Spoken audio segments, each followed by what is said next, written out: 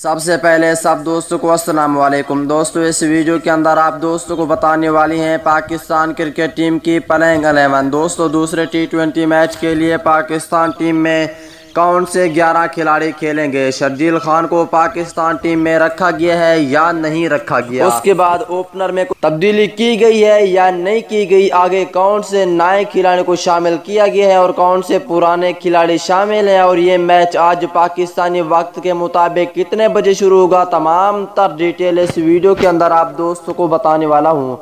दोस्तों, इससे पहले इस वीडियो को लाइक करें चैनल को सब्सक्राइब करें बेल आइकन दबाकर ऑल पर लाजमी क्लिक कर देना है।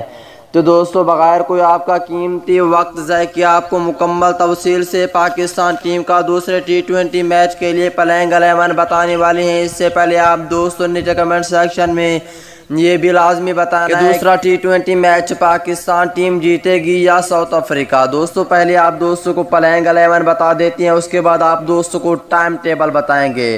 दोस्तों पहले नंबर की बात कर लेती हैं। पहले नंबर पर होंगे उसी रूटीन के मुताबिक फ़खर जमान। शर्जील खान को नहीं रखा गया पाकिस्तान टीम में। जब तक मिसबा बैठा है, तब तक शर्जील खान पाकिस्तान टीम में खेलने के लिए बहुत ही कम चांसेस हैं।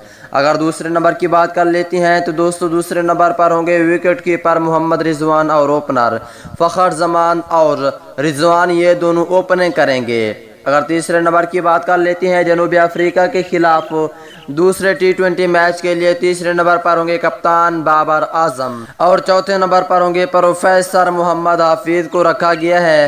अगर पाँचवें नंबर की बात कर लेते हैं जनूबी अफ्रीका के खिलाफ दूसरे टी ट्वेंटी मैच के लिए पाँचवें नंबर पर होंगे पाकिस्तान टीम के न्यू टैलेंट खिलाड़ी हैदर अली। अगर छठे नंबर की बात कर लेते हैं तो दोस्तों छठे नंबर पर होंगे पाकिस्तान टीम के बहुत ही अच्छे ऑलराउंडर मोहम्मद नवाज़।